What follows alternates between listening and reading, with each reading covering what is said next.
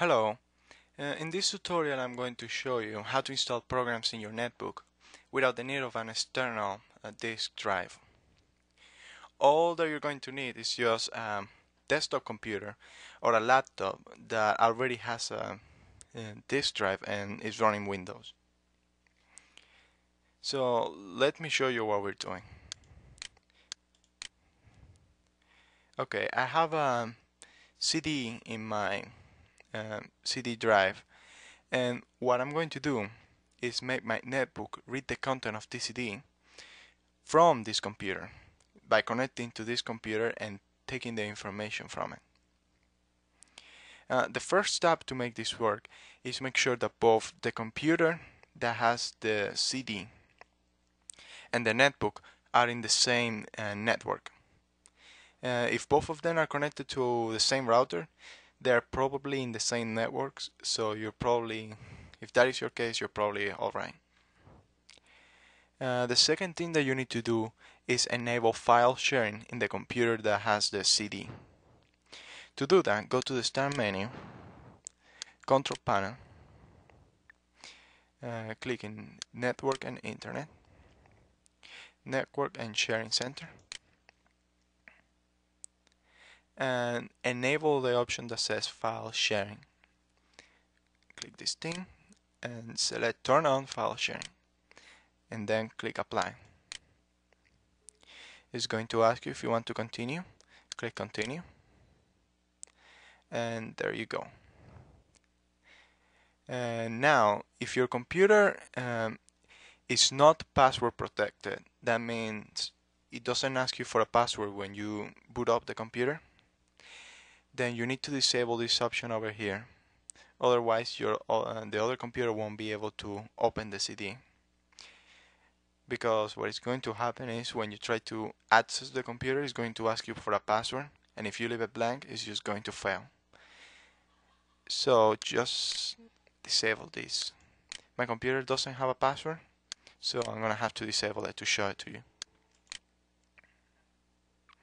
Okay once that is done, we can close this and go back to computer. Uh, right click in the drive that you want to use in your netbook and select the share option.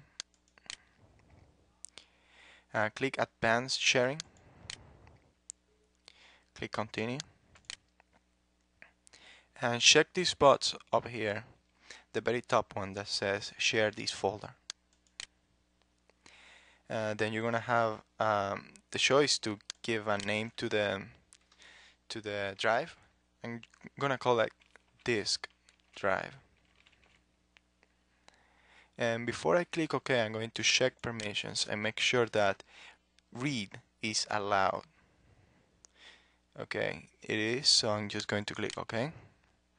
And I'm going to click OK again.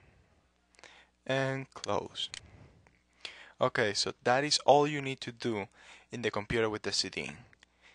And now you need to go to the netbook. Okay, so uh, this is my netbook and what you need to do here is go to the start menu and open the computer. Okay.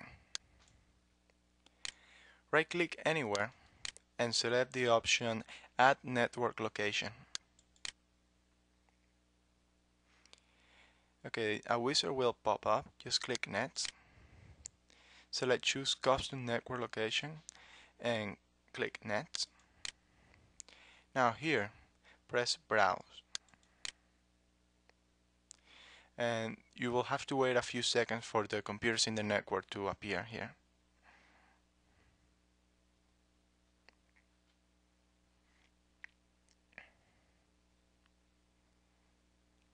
Okay, uh, the CD drive is in my desktop computer.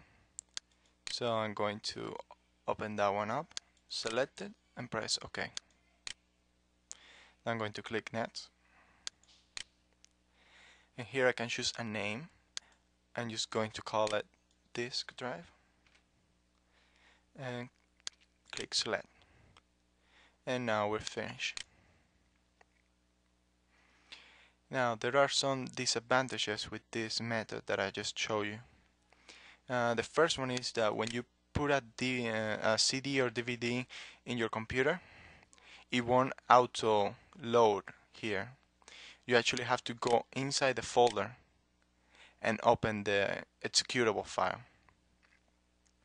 Another problem is that if you're installing a game, uh, the game will install, but when you're trying to actually boot up the game, it's going to ask you to insert the CD, and it won't work because it just doesn't recognize this as a CD unit. Um, and when you're playing DVDs, you cannot.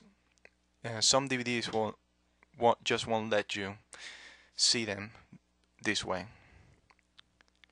But other than that, it works perfectly for everything else. So let's see if this works. Let's actually open the exe file and see what comes up. And just click run.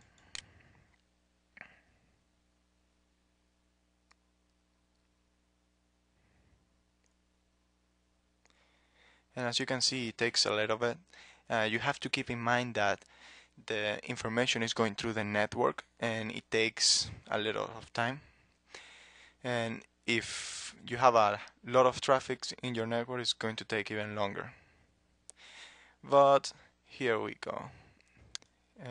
We can install of these programs. And let's see.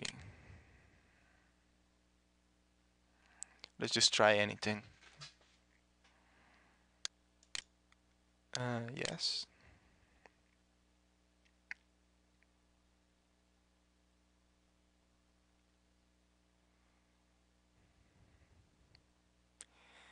Okay, so it works and I hope you found this tutorial useful. Uh, well, if you liked the video, then rate it. Uh, if you have any questions, comment. And if you want to see more videos, then subscribe. Uh, thank you.